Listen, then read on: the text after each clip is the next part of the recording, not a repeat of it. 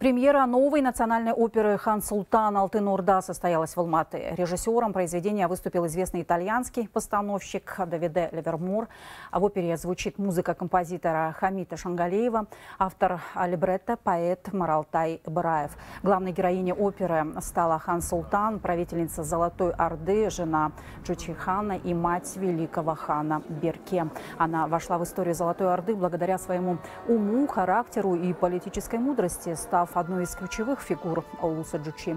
В основу сюжета оперы легли события, связанные с образованием Золотой Орды. Для придания исторической достоверности в проекты привлекли ученых из Казахстана, Татарстана и Турции.